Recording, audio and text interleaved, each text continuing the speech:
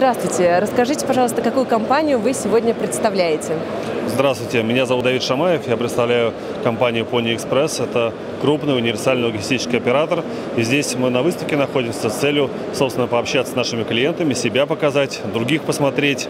Ну, а, для того, чтобы, соответствовать рынку, а, оценить новые тренды, возможно, какие-то проблемы обсудить. А, я сегодня также выступаю как спикер. Достаточно интересной теме, приходите, пожалуйста. Вот. Но основная наша история следующая, что мы по году доставляем порядка 13 миллионов отправок и посылок. Нам, конечно, хочется доставлять больше, мы каждый год растем, но для того, чтобы расти, мы должны опросить всех наших клиентов, посмотреть, что они хотят, услышать какие-то их ожидания, поговорить даже с получателем грузов, чтобы просто банально совершенствоваться. Как вы считаете, в чем ваше конкурентное преимущество?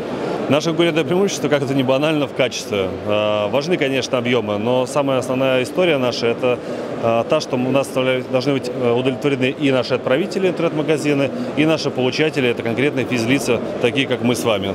А, для того, чтобы человек, который получает груз, он всегда, скажем так, составляет свое мнение не только от товара, который он покупает, например, там, покупаете вы велосипед. Да, есть важна цена, важно качество, марка, но важно, как его вам доставят, как удобно вы его получили, нормальный ли был курьер, э, был ли он в спецодежде, хорошо ли он с вами поговорил, пообщался, как от него пахло, смог ли он принять у вас наличные, была ли у него сдача, это, или была возможность у вас сдать товар обратно, если он не понравился. Все эти вещи очень важны, и мы, конечно, обеспечиваем весь сервис, поэтому нас, собственно, любят клиенты.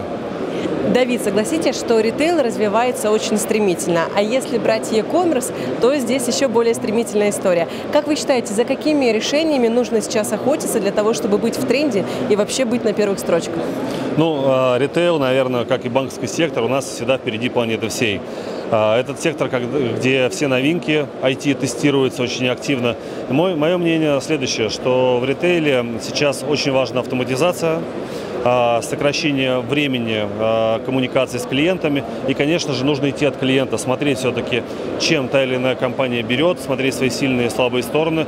Слабые либо замыливать, либо, соответственно, с ними бороться, сильные, собственно, развивать. Ничего, наверное, экстраординарного не предложу, но могу сказать так, что за ритейлом, конечно, будущее.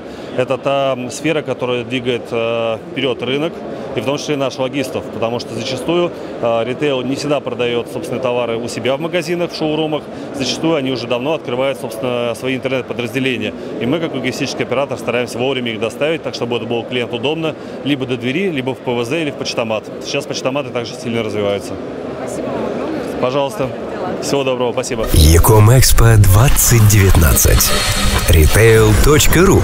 Фирма 1С.